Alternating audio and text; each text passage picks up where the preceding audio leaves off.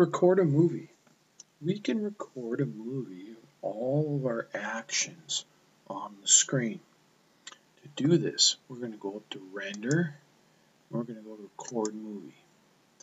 First thing we want to do is set the the size of the of the movie.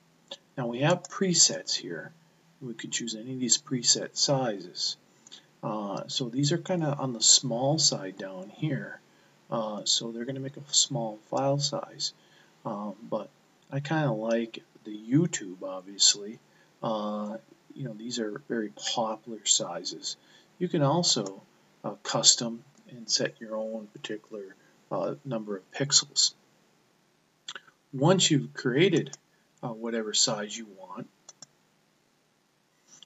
then we have to come down to our timing. Now, typically, uh, an average timing is 15 frames per second. So if we record and we play back at these the same uh, record and playback speeds, we get a normal uh, movie rate. Uh, so we get uh, a normal uh, movie. However, if we record at a very low rate, say like at 5 seconds, and we play at a faster rate, we get more like a time lapse, a speeded up version of this. And this is kind of useful when we want the, the screen action to be faster than real time. So, um, so that's what we, we can do with, with the timing. Uh, we can also check automatic pause when recording when idle. So when we're not doing anything, we're not moving the mouse, it actually pauses the recording. So uh, you may or may want that or not. Now, what to record? The 3D view only is our 3D uh, tab up here, so it's only going to record this screen right here. Uh, when I set it to the Mudbox window, we're actually going to get all of you know our layers and object list and all our trays and our pull down menus uh, is going to show. You can see in the preview here, I have that in the preview. I like the 3D view only unless you are trying to actually doing some instruction perhaps. Then you might want to go with the Mudbox window. Um, you'll get a bigger uh, actual uh, more detail in this method in the 3D view method. Now when I start the recording it's up to me to move around the screen and talk well, talking doesn't matter, but it's up to me to move around the screen and navigate my movie. And then when I'm done, I'm going to pause it. So uh, let's give it a try here. I'm going to do a start recording. You'll see it'll count down. And then now it's recording my movie. So I might want to do things like come up here and go around and I might want to zoom in and I'll kind of say, okay, let's zoom in on certain details or whatever. And you can you can move anything with your view cube you like. You can dolly and pan all you want. And you can say, oh, let's look at this area here, you know, and you can look at whatever areas you like. And so when you're done, um, you, you want to stop the recording. Now, if you notice down here, it's recording and we have a pause and we have a stop you can pause it and restart. I'm just going to hit stop.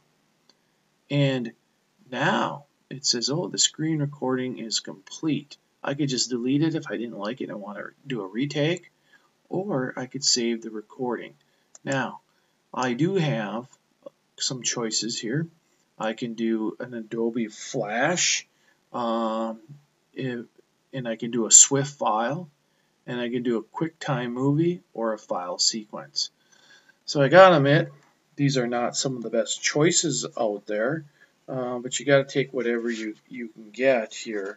Um, you know, for the most part, um, you know, I go with a QuickTime movie in general. If you just want to make a movie, um, you know, and it's you don't know exactly what's going to be played back on, I just go with the movie.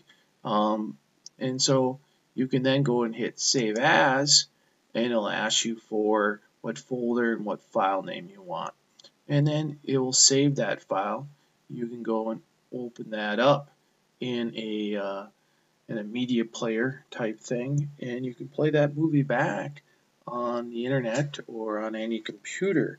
So, um, you know, this is just a recording of your screen. There's no voice. Uh, you can pause, pan, zoom, whatever you want, but it's up to you. Um, there is no smoothness to it. And I'm just going to cancel out of here and I'm going to delete the recording at this point. But you know, if you if you go around and you go, oh, and then wait a bit, it's going to record all these actions. So it's not like we're uh, in the movies with nice smooth uh, um, dollies and nice cameras rolling around. You're going to get all the her- herky jerky stuff of your mouse actions um, or your stylus actions. Um, but you might want to use this for a demonstration or for a client review, etc. So um, the beauty of this is you can zoom in and pan anywhere you want, a dolly and track anywhere you want, and make your movie. So this is recording a movie.